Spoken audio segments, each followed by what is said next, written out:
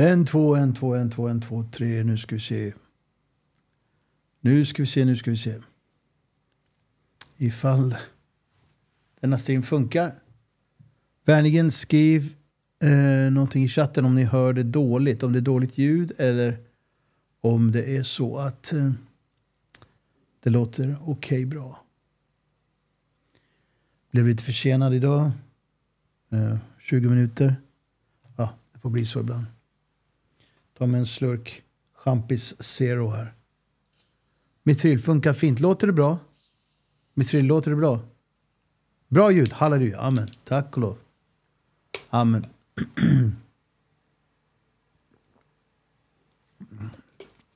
Tack och lov Jesus. Välkommen hit älskade vänner. Amen. Tack och lov.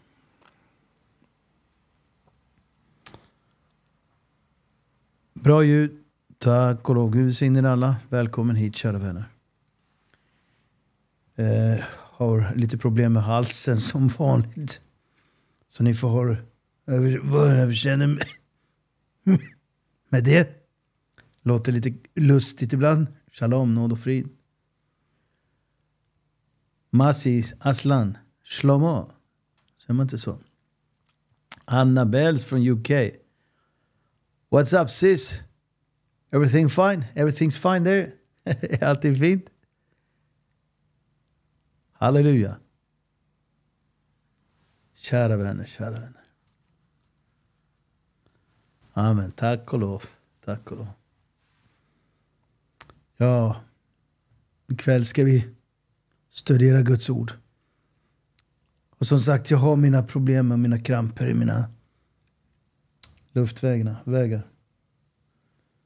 Men det går över efter ett tag. Gud hör bön, sannerligen. Sannerligen syster. Jag blir så gripen när du, när du sa att när du kom till...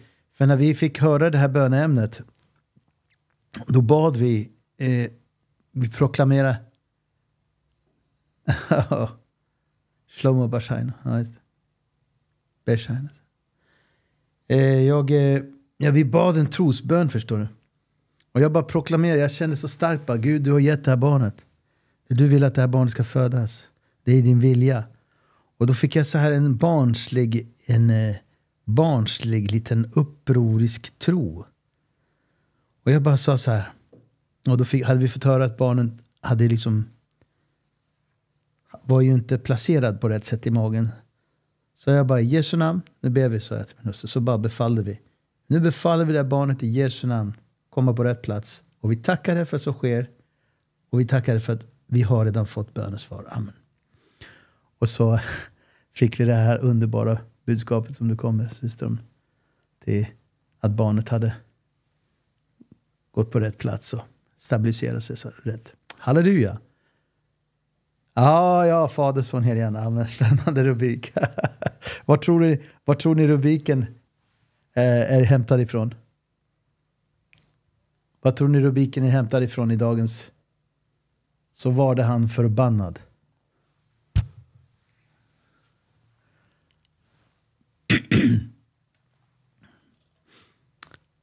är det någon som vill skriva det i, i uh,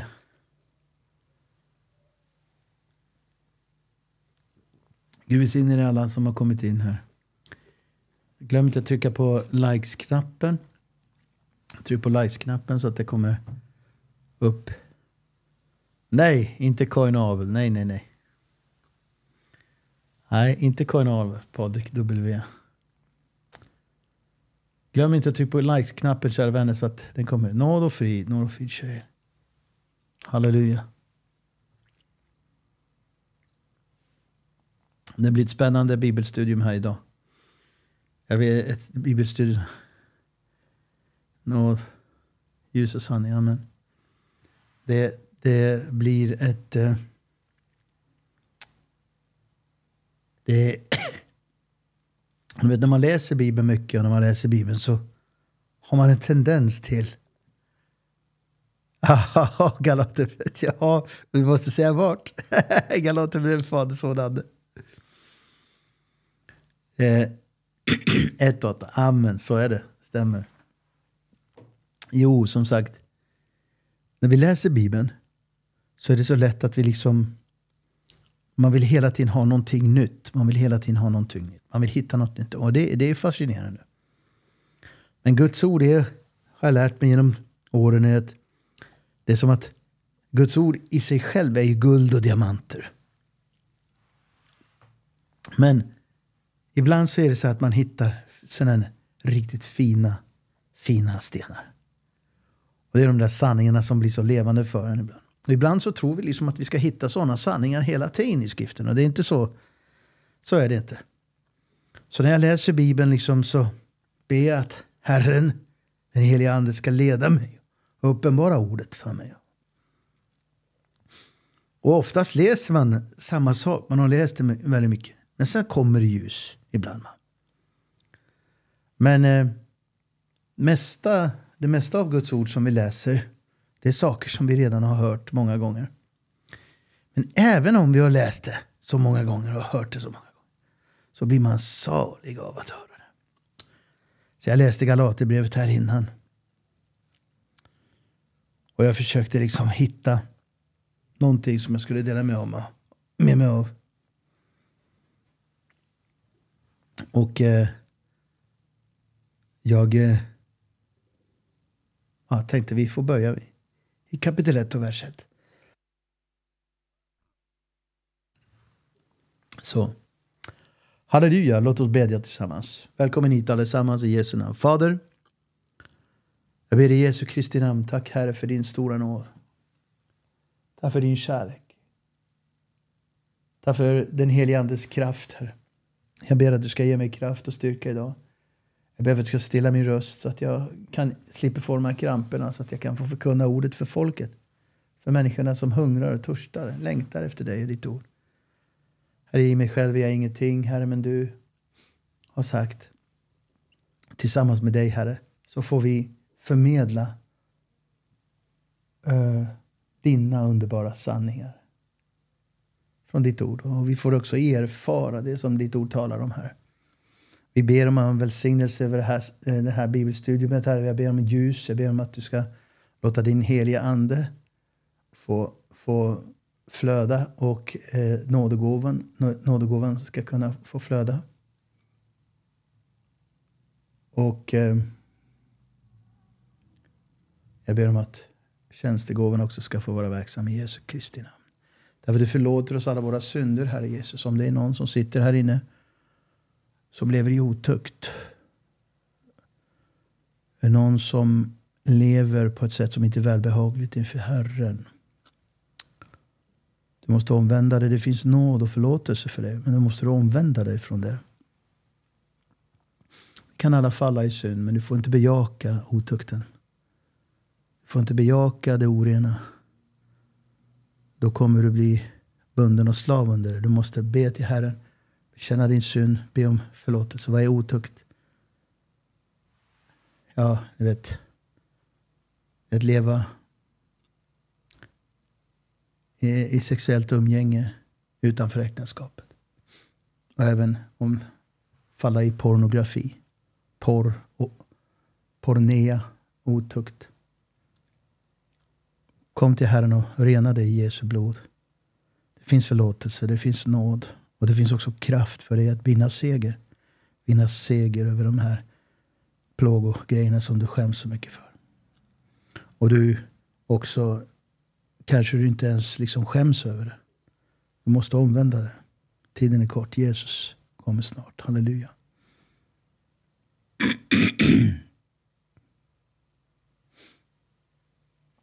Halleluja i Jesu namn. Välkommen hit kära vänner. Tack för att ni har tryckt på likes-knappen. Ehm, jag upplevde detta att det viktiga är liksom att man inte ger efter. Gud har skapat oss som sexuella varelser. Gud har skapat oss att leva i det heliga äktenskapet mellan man och kvinna. Äktenskapet är en union mellan man och kvinna. Eh, och det är bara det som kan bära frukt. Det vill säga där kan det födas barn. All annan form av sexualitet är förbjuden i, eh, enligt Bibeln och enligt Jesus. Ja, du kanske, ska, du kanske faller i det. Ja, det finns nåd. Kom till honom. Låt honom få tvätta dig och, och be om kraft och styrka att vandra i lidan för hans vilja ord. Men bejaka inte det som är fel.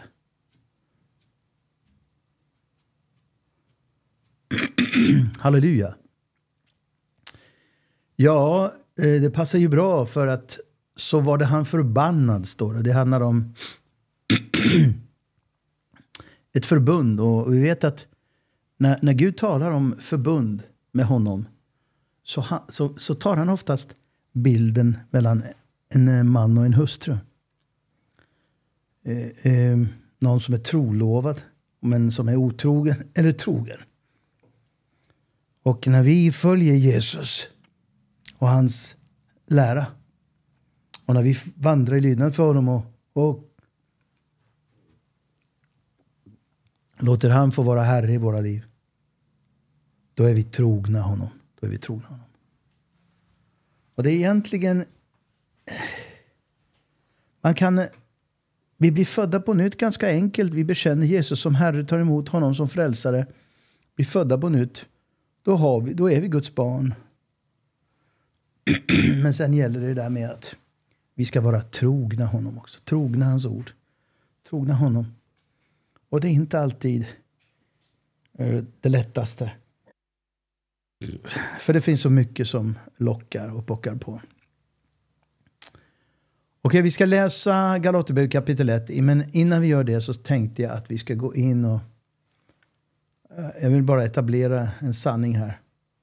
Vad är... Vad är det för någonting som kan dra på oss den... Den... Eh, vreden som det innebär att vara förbannad. Alltså, jag trodde vi var Guds barn och vi jag trodde Gud var kärlek. Va? Varför, Broder Petrus, varför pratar du om förbannelse nu helt plötsligt? Jo, det är så här att Nej, låt oss eh, studera och läsa vad det innebär hur man blir född på nytt och en kristen. Det här känner ni till, de flesta av er som följer den här kanalen. Men jag predikar det här till er för att få er att förstå att det inte bara handlar om er. Det handlar kanske om en människa som har kommit in och lyssnat som aldrig har lyssnat på mina predikningar förut och så får de höra och så får de ta emot. Efesierbrevet 2, vers 8 och 9, där står det så här. Ty av nåd är ni frälsta genom tron. Inte av er själva, Guds gåva är det. Det beror inte på gärningar. Ingen ska kunna berömma sig.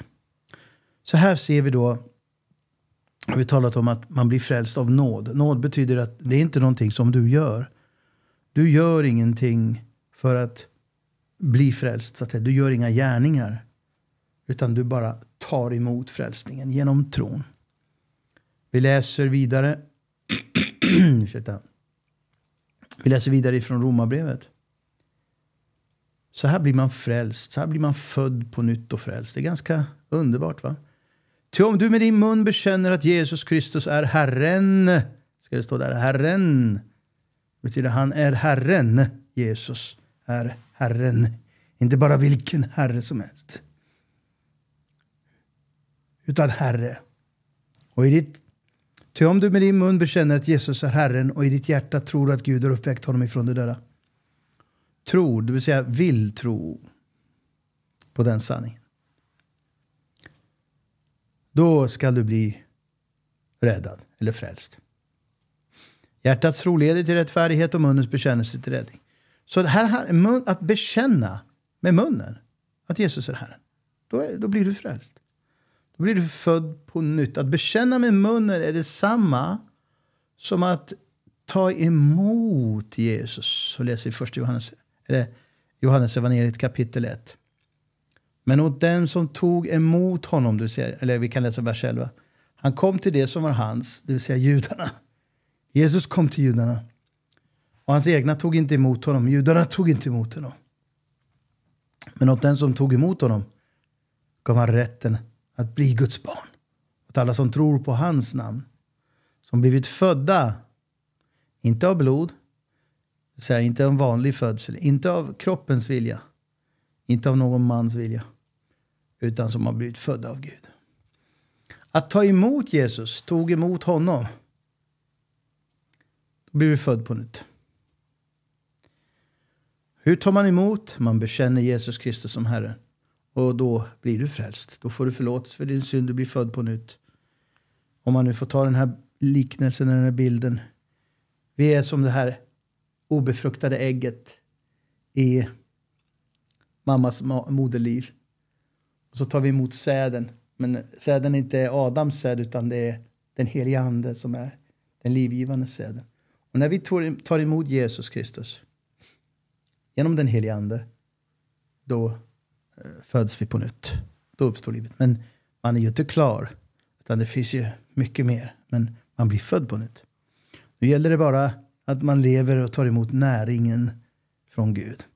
Så växer vi och till slut så kommer vi födas ut i den nya världen som är i himlen. Eller den nya himlen och jorden.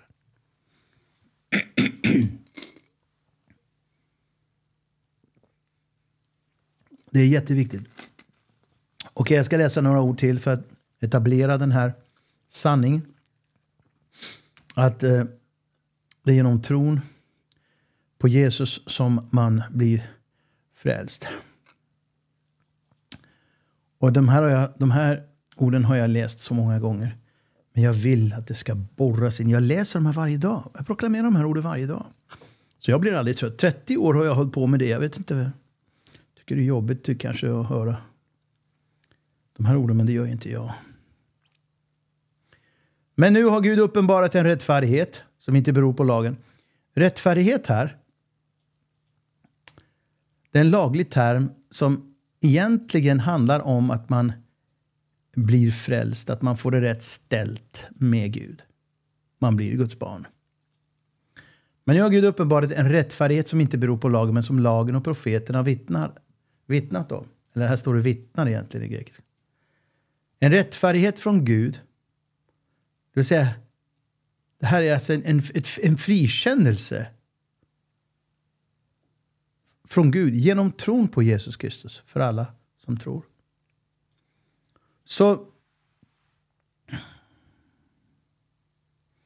här görs ingen skillnad. Alla har syndat och gått miste om härligheten från Gud.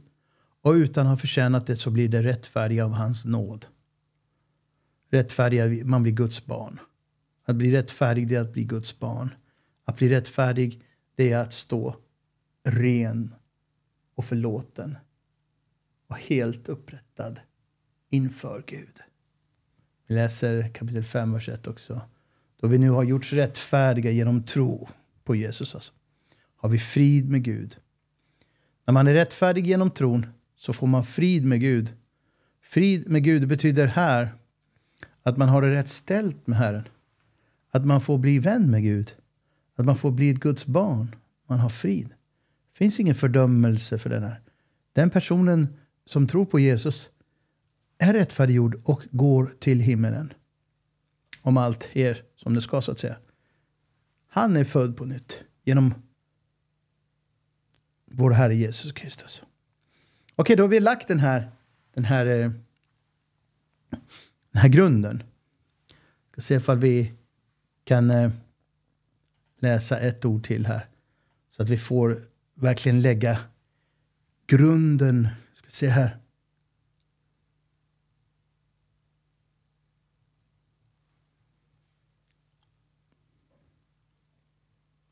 Nej, jag tror det räcker så. Jag tror det räcker så. Vi har lagt en grund. Vi vet att Guds ord talar om det här.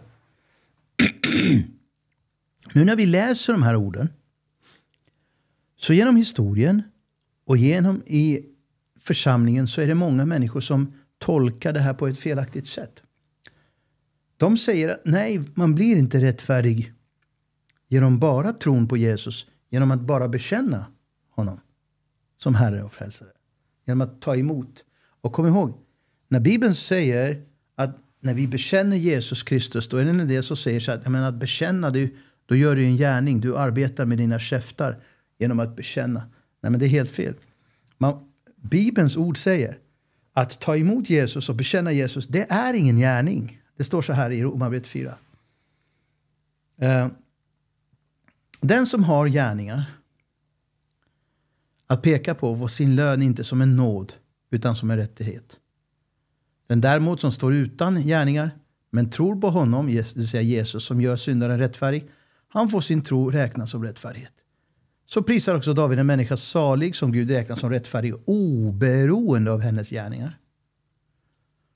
Så då betyder det att, att bekänna Jesus, ta emot honom, det är inte en gärning. Det är bara att ta emot. Det räknas inte som gärning i, den, i, den, i, i Bibelns ljus.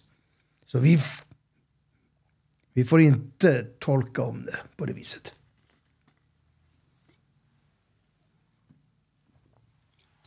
Och då kan vi se här, läser vi om igen. Vers 9 B där. Jag har redan sagt, för sin tros skull räknades Abraham som rättfärdig. Och när skedde det? Före eller efter omskärelsen? Före och inte efter.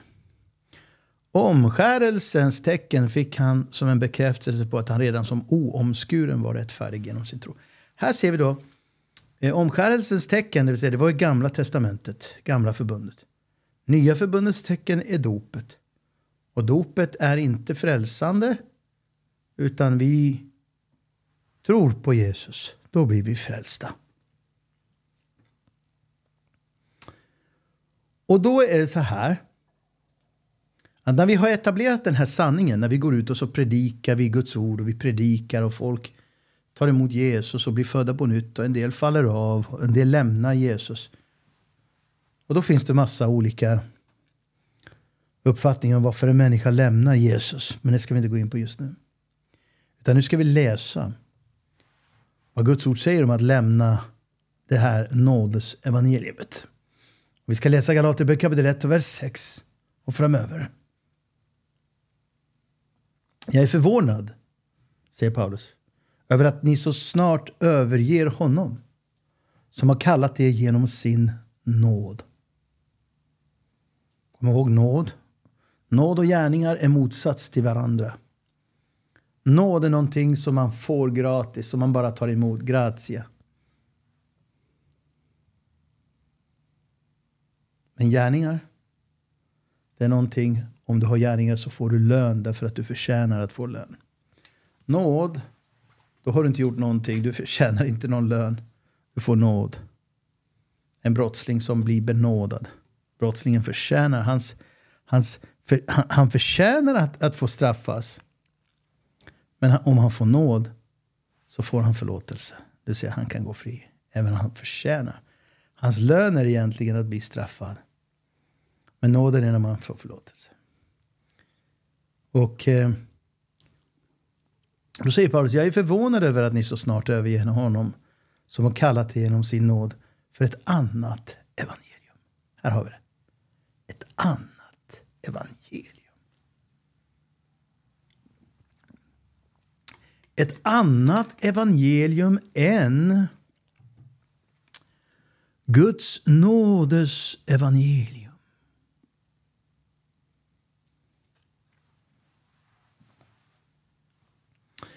Paulus fortsätter, fast det inte finns något annat.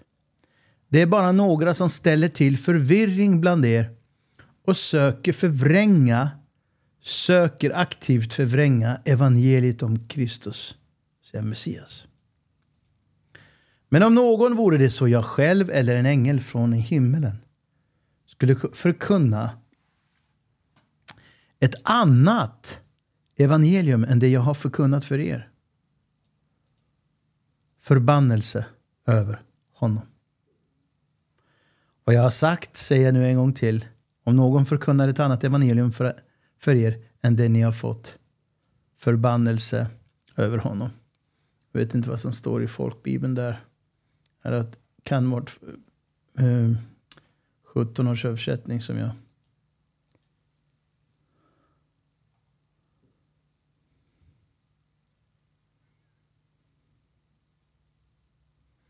så skall han vara underförbannad.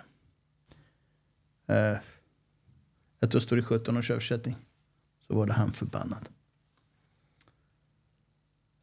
Så det förbannad betyder här att man blir förkastad ifrån Guds nåd.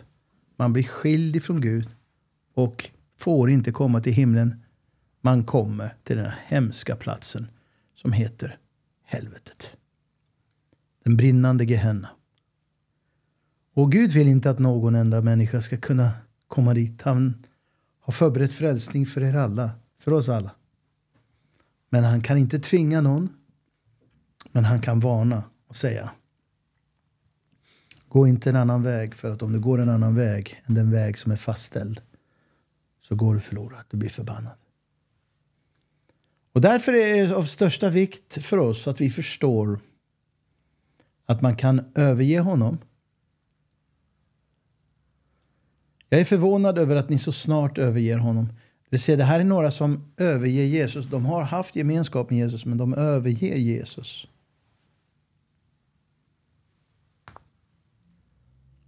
Och de överger Jesus för ett annat evangelium. och vi ska gå in på det här lite grann och prata hur, hur lätt det är att göra detta om man, om man inte är vaken. Det finns inget annat evangelium.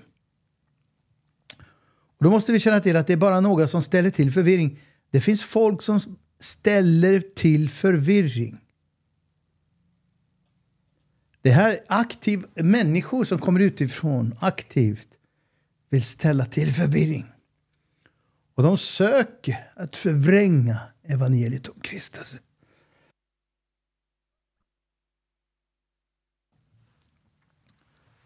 Så här måste vi förstå att det här är någonting som sker ständigt, regelbundet. Det kommer komma folk. Vi ska läsa vad som står i Apostlagärningarna.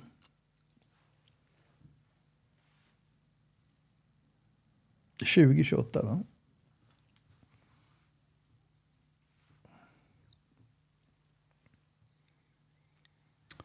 Vi läser, vi läser från eh, 26. Därför vill jag denna dag bedyra att jag är utan skuld om någon går förlorad. Ty jag har inte varit rädd för att delge er allt som hör till Guds plan. Det här är evangeliet. va? Ge akt på er själva på hela den jord som den heliga ande satt er att ta uppsikt över. Eh, det han talar till ledarskapet. För att ni ska vara herdar för Guds församling som, har som han har vunnit åt sig med sin sons blod. King James eh, version säger med sitt eget blod. Och då kommer här. Jag vet att när jag lämnar er ska farliga vargar som inte skonar jorden tränga in bland er. Ur era egna led ska det träda fram män som förkunnar villoläror för att dra lärjungarna över sig på sin sida. Och det är därför vakna och kom ihåg att jag i tre års tid, dag och natt, har väglett er, var och en under tårar. Och nu anförtror jag er åt Gud och åt hans nådesrika ord. Det här är evangeliet. Va? Nådesrika ord. Det som kan göra er till hans byggstenar och ge er en arvslott bland alla dem som helgats. Jag har aldrig själv jag har aldrig velat få silver eller guld eller kläder av någon. Så han var inte fokuserad på pengar, Paulus. Naturligtvis finns, fick han ju gåvor. Men det var inte fokus på pengar. Okej, okay, så här vet vi då att det kommer komma in folk som vill förkunna ett annat evangelium. Naturligtvis för att vi ska gå förlorade. För om man får ett annat evangelium så blir man förbannad. Och när vi läste evangeliet så läste vi att det räcker bara blott av det räcker bara genom att tro på Jesus Kristus och ta emot honom som Herre, bekänna honom som frälsare, ta emot honom, tro på att Gud har uppväckt honom från de döda på tredje dagen och eh, eh, bekänna sig till honom. Då ska du vara frälst. Då ska du vara frälst. Hjärtats tro som du har leder till rättfärdighet och munnens bekännelse till frälsning. Men om det kommer någon annan om det kommer någon annan och säger att nej, det räcker inte med det, du måste också göra det här. Då är det ett annat evangelium. Då är det ett annat evangelium och då är man den personen som säger det. Han är under förbannelse. Han är förbannad. Han har lämnat Gud. Han har ingenting med Gud att göra. Och då tänker ni så här, men, men det är väl inte så många som säger det? Vad är det frågan om? Om du visste hur mycket villfarelse det finns. Om du visste hur mycket falsk lärare det finns. På något förunderligt sätt så har då läran om dopet smugit in här. Och det gjorde det redan den första generationen efter apostlarna. Då började den första generationens kristna förkunna och säga att dopet, som då på den tiden var vuxendop så att säga, de sa att dopen var frälsande. Dopet ger helig ande, dopet ger salighet, dopet gör dig till Guds barn, dopet gör så att du får helig ande, dopet gör så att du blir upptagen i gemenskap. Redan första generationen började förkunna denna villfarelse. Detta dop som är en gärning. Och då kan du tänka så här, tänk dig det som att alla, hela ortodoxa kyrkan tror på det, att dopet är frälsande. Hela katolska kyrkan tror på att dopet är frälsande. Hela lutherska kyrkan tror på att dopet är frälsande. Och då talar vi om småbarns, patetiskt obibliskt småbarnsdop. Hela kalvinistiska kyrkan tror på att småbarnsdopet, att det är frälsande. Och sen har du baptisterna, många baptister som alltså döper vuxna, så att säga, i, i, som man bekänner. De börjar snacka om att dopet är frälsande. Hur kan det? Hur kan det komma sig så här? Så att, jag menar, kan ni förstå hur allvarligt det är? Om du tror att ditt dop, ditt vattendop, ditt dop som du har gått igenom är frälsande, då äger du inte frälsning och evigt liv. Utan du tror, då har du gjort en gärning till. Och då är det en del som säger så här, nej men vadå? Jag tror på nåden. Utan då säger de så här, vi får ju nåden i dopet. Ja, men kära vän, är du så förvirrad så att du inte ser att dopet är en gärning. Så för att få nåden så måste du döpa dig. Du måste alltså göra en gärning för att få nåden. Och det är inte nåd. Satan har bytt ut nåden där. Eller Satan har bytt ut lön där mot nåd istället för att lura oss. När man gör en gärning, då får man en lön. Antingen ett straff för att man har gjort dåligt dåliga gärningar. Eller så får man en lön om du har gått, gjort goda gärningar. Men det är inte nåd. Och jag önskar ni kunde förstå detta och jag önskar verkligen att det här skulle sprida sig för att det, det är en fruktansvärd villfarelse detta. Men Men eh, står inte i Bibeln att man får nåd? Eh, står det inte i Bibeln då? Att man blir frälst i dopet? Jo, det finns många bibelställen som eh, verkar, verkar säga det. Men kom ihåg att då måste vi läsa de här. Jag har ju bara läst några stycken av de här. Att genom tron, genom tron, genom tron. Är du rättfärdig? Genom tron är du rättfärdig. Blott av nåd. Det finns ju massvis av sådana ord. Hur ska vi då kunna läsa Bibeln? Hur ska vi då kunna läsa Bibeln?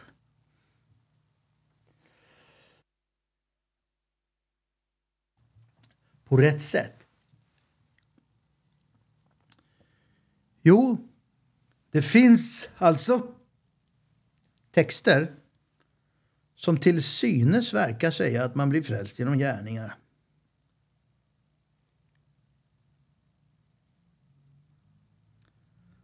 Oj. Kära vänner.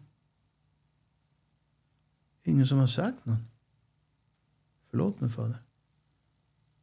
Har jag, har jag missat att Jesus, det blir alltid något som är fel. Alltså. Och det är ingen som säger något. Ingen som säger något. Ja, jag hoppas att ni kunde... Kan ni se skärmen nu då? Är det någon som skriver? Ser ni skärmen? bibelordet. Ah, ja, vi fortsätter. Tack och lov. Ja, du ser skärmen. Eller du ser bibelordet. Bra. Okej, okay, så att... Då är det så naturligtvis att det finns de här orden. De här bibelorden. Och jag tänkte bara gå igenom några sådana bibelord. Som eh, talar om detta då. Till synes verkar det som om det är faktiskt genom en gärning som man blir frälst. Och då ska vi läsa det här. Eh, vi läser, vi går till Markus. Vi går till Markus 16 och vers 15. Vad står det? Han sade till dem, det vill säga Jesus sade till dem. Gå ut överallt i världen och förkunna evangeliet för hela skapelsen. Så evangeliet, det här är evangeliet som vi talar om att det är genom tron du blir frälst. Blott genom tron och bekännelse på Jesus. Jesus. Gå ut överallt i världen och förkunna evangeliet för hela skapelsen. Den som tror, det vill säga den som tror på evangelium och blir döpt skall räddas eller ska bli frälst. Men vänta, här står det ju. Här står det ju tro och bli döpt. Om man tror och blir döpt så ska man räddas. Så det verkar vara en motsägelse mot de här andra orden som säger det. Så kanske, tro, kanske dopet är en speciell sak som inte har... Kanske dopet inte är en gärning. Nej, det, så får vi inte göra. va? Dopet är en handling, en gärning. Men vad säger man? Men den som inte tror ska bli dömd. Så det står inte så här. Den som tror och blir döpt ska räddas eftersom tron och dopet hör ihop väldigt nära. Precis som en, be, en död och en begravning hör ihop. Man, man dör, när vi tror på Jesus då, dö, dö, så, då, blir, då dog vi med Jesus skulle man kunna säga. Fast vi dog med Jesus när Jesus dog på korset så dog vi där tillsammans med honom. Och när du kommer till tro på Jesus då blir den döden en verklighet för dig. Så att din gamla människa har blivit död där. Och nu kommer nästa steg, dopet. Okej. Okay. Men det står inte att men den som inte tror och blir död ska bli dömd. Det står inte så här. Det står bara så att den som inte tror ska bli dömd. Så därför så utesluter Guds ord här de utesluter dop, dopet från frälsningen, så att säga. Det är tron som frälser. Och eh, vi vet ju rövaren på korset, hur han, hur han blev frälst. Han var inte döpt. Ska vi gå till, till honom? Lukas 23. Då läser vi uh, Lukas 23. Rövaren på korset, Lukas 23, vers 40. Eh, vers 39. Den ena av förbrytarna som hängde där smädade honom och sade Är inte du Messias? Hjälp då dig själv och oss. Men då tillrättavisade honom den andre. Är du inte ens rädd för Gud? Du som har fått samma straff. Vi har dömts med rätta, det vill säga han erkänner sin synd. Jag är en syndare, jag har dömts här med rätta därför jag har gjort det som är fel. De hade säkert dödat. Man fick ett sånt straff då. Vi får, vi får vad vi har förtjänat.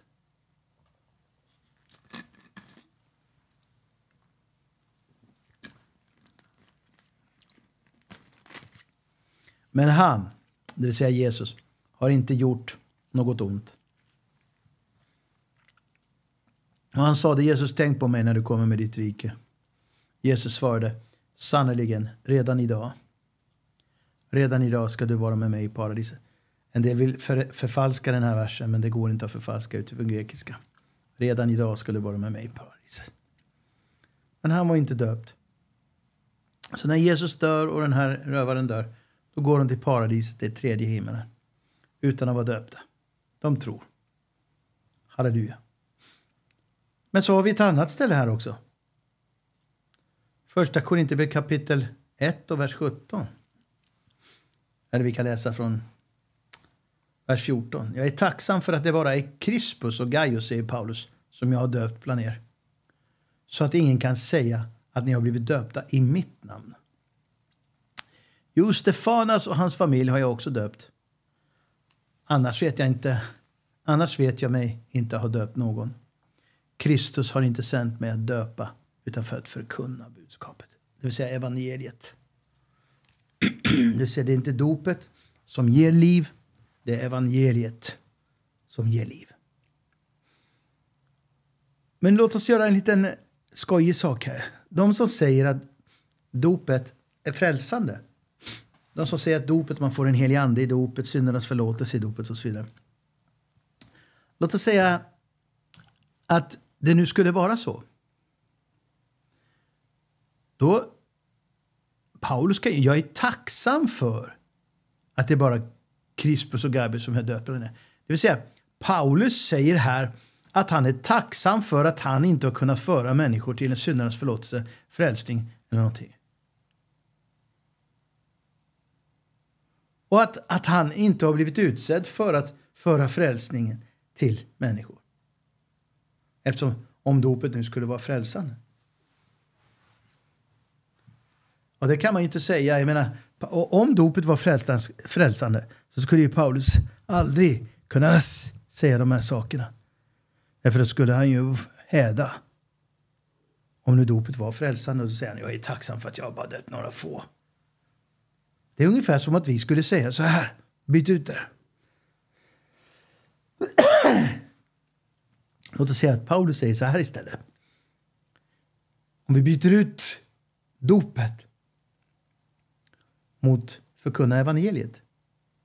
För de här människorna säger att dopet är frälsande. Vi vet att dopet inte är frälsande, men det är evangeliet som är frälsande. Men låt oss, låt oss byta ut dopet här till evangeliet. Så säger vi så här. Ja, Paulus säger, jag är tacksam för att, bara, att det bara är Crispus och Gaius som jag har eh, fört till frälsning.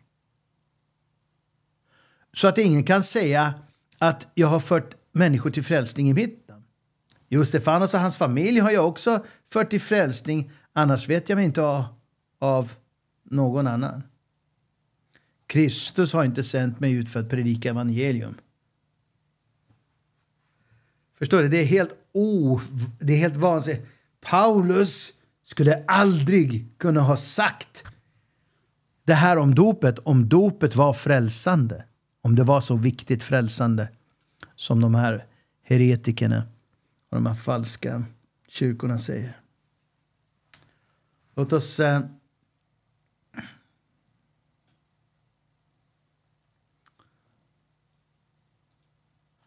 Så här kan vi se det, det som Markus, Markus eh, 16 säger. att Vers 15.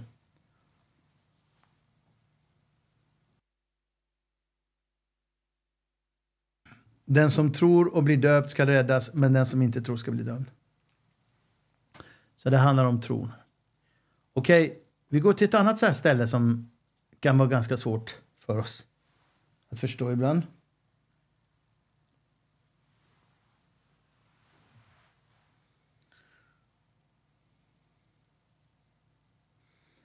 Eh, vi kan gå till Apostlagärningarna.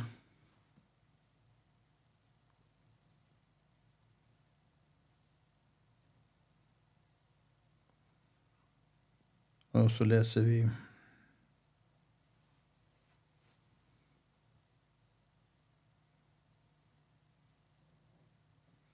Ska bara hitta det här ordet var det står någonstans.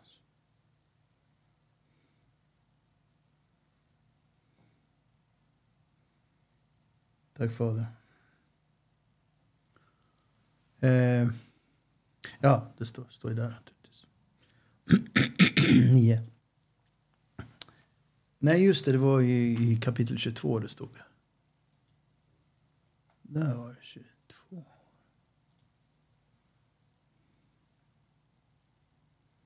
Här. Så här är det när Paulus blir frälst. Och nu ska jag förklara för er hur, hur fel det kan bli om vi inte läser in allting och håller helheten och förstår att Bibeln är liksom en, en helhet. Summan av Guds ord är sanning. Man kan inte bara läsa ett, en vers. Va?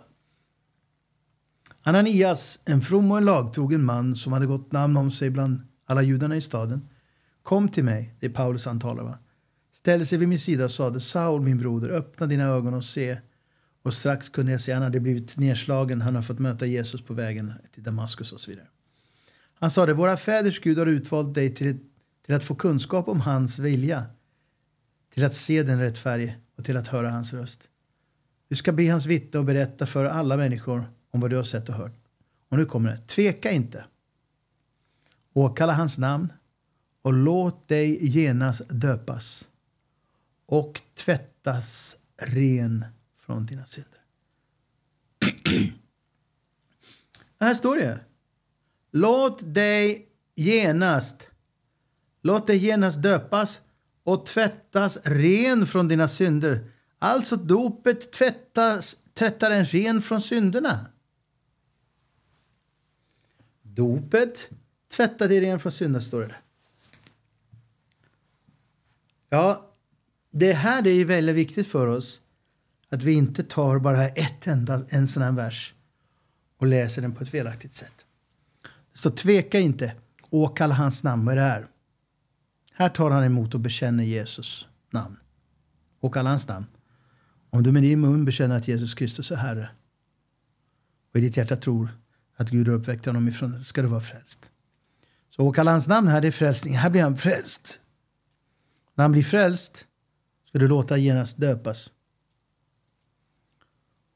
Och när du har åkallat hans namn och blivit frälst, låtit döpa dig, då är du liksom tvättad ren från dina synder.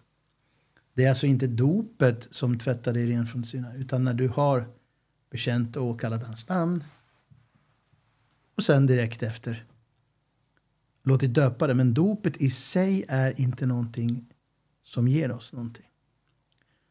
För om dopet ger oss någonting i frälsningen, då är det inte längre evangelium, då är det inte längre nåd. Och då är det inte eh, då motsäger den här versen många, många. Låt oss nu läsa några verser, älskade vänner, som talar om hur man får syndernas förlåtelse. Förstår du?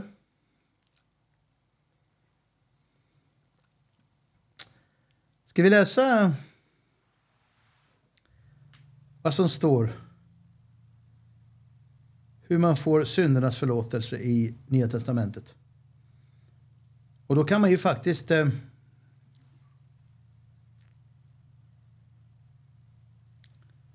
Då kan vi ju faktiskt förstå och se.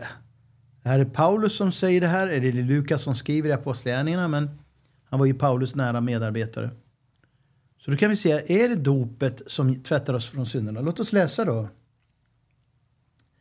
Matteus 26 läser vi. Vad står det i Matteus 26? Där står det någonting om syndernas förlåtelse. Och vers 28. Va?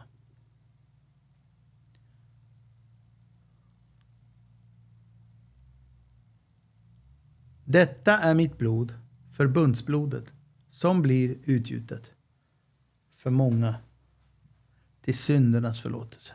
Så det är Jesu blod som blir utgjutet till syndernas förlåtelse. Det är Jesu blod, inte dopet. Det är Jesu blod. Så läser vi vidare Apostlagärningarna 10. Vi går till Apostlagärningarna kapitel 10. Vers 43.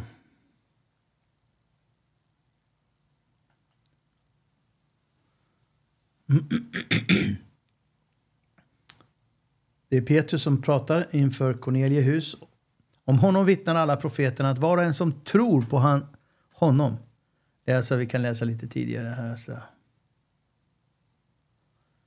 Här är alltså, då, då, tog, då tog Petrus till orda. Det är Petrus som talar här.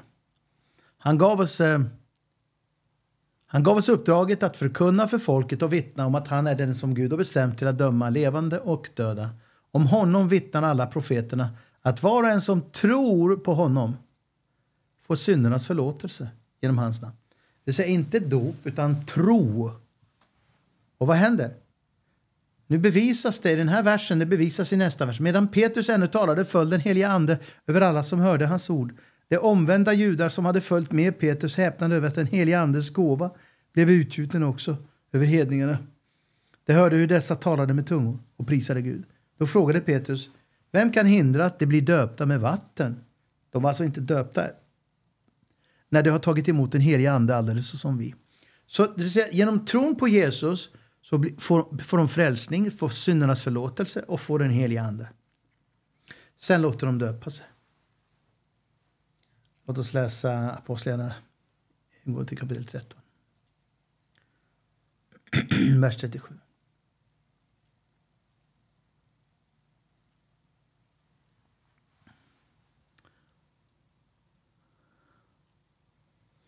Och då är det också i ett sammanhang. Men han som Gud uppväckte har inte mött någon förgängelse. Ni ska alltså veta, mina bröder, att genom honom förkunnas syndernas förlåtelse för er och genom honom blir var och en som tror rättfärdig och friad från allt det som ni inte kunde frias från medan ni stod under Mose lag. Alltså, syndernas förlåtelse kommer genom tron, inte genom dopet. Och därför kan vi inte läsa på ett slarvigt sätt. Första Johannesbrevet.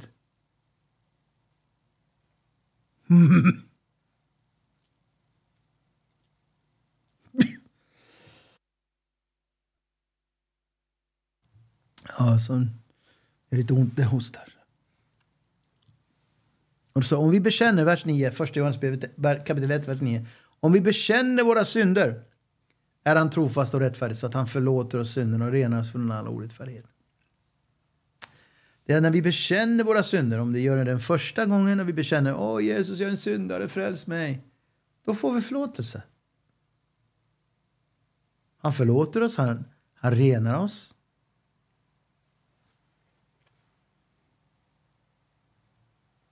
Och så, så här är det, jag ska inte fortsätta mer nu för att eh, det blir lite för mycket. Men, men så här är det kära vänner, vi kan inte läsa bara en vers och liksom då misstolka den versen.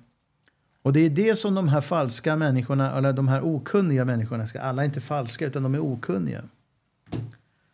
Då är det så här förstår du att vi får inte läsa in eh, när, vi, när vi studerar skriften och när vi läser skriften så måste vi ta, låta hela skriften tala. Om man, om man talar om dopet så måste man låta alla bibelställen som talar om dopet. Om vi talar om förlåtelse så måste vi låta alla ställen i Bibeln, i Nya Testamentet, som talar om förlåtelse. Liksom man samlar dem alla och så jämför man. Och när man gör en tolkning så får man inte liksom lämna ut, man får inte läm lämna vissa bibelord och bibelverser utanför för de passar liksom inte in i ens tolkning. Det är fel. Utan allt måste harmoniseras. Och därför att Guds ord är eh, harmoniskt och eh, perfekt och fullkomligt. Det finns inga motsägelser i Guds ord. Det finns svårigheter. Men, och det är det här okunniga människor gör då, liksom när de talar om dopet. Så, då säger de ja men vi blir frälsta genom tron och brott av nåd, säger man. Men eh, vi blir frälsta genom dopet, säger de då samtidigt. Och de säger, men dopet är ju en gärning. Nej, vi får ju nåden i dopet, säger de då. De är så förvirrade och så citerar de alla de här bibelställena som till synes verkar tala om att man genom gärningar, som ett dop till exempel, får syndernas förlåtelse och helig ande och så vidare. Nej, kära vän. Det är allenast genom tron på Herren Jesus Kristus, när du bekänner honom som Herre, när du tar emot honom. Samma sak med syndernas förlåtelse, min vän. Du behöver inte slå på dig själv om du har fallit. Du behöver inte gräma med dig själv. liksom. Utan om du behöver bara säga Jesus, förlåt mig min syndare. Omvänder mig. Ge mig kraft och styrka. Mig. Då är du förlåten. Och då kan du resa dig upp. Och nu finns det ingen fördömelse för dig någon mer. För du är renad och förlåten. Och då kan du be Herren om kraft och styrka att vinna seger nästa gång när du kommer i, i prövningens stund eh, frestelsen kommer över. Är du med? Halleluja. Jag ska se ifall...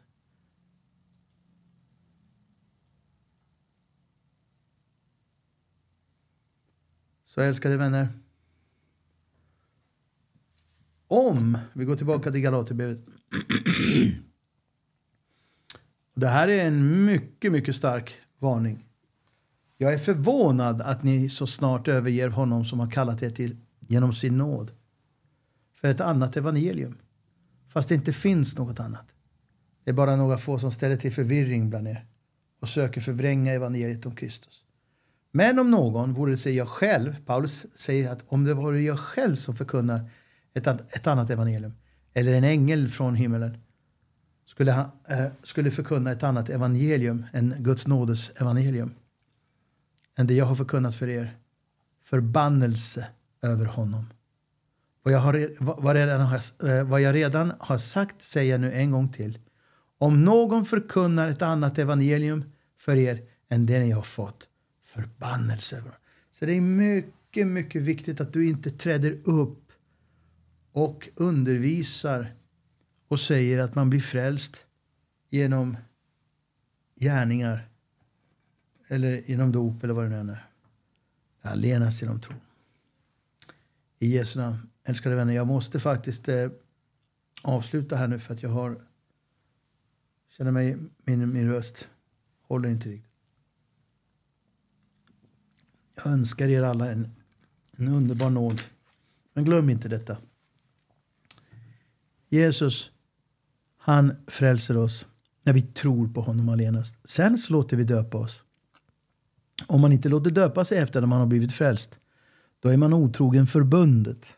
Och då kan man gå förlorad. Därför att du inte låter döpa dig. Men det är inte för att dopet är frälsande, utan det är för att du som har blivit frälst av idel nåd genom tron, inte följer förbundet. Jesu underbara kärlek till er alla. Glöm inte det. Jesus älskar er. Nåd och frid Amen.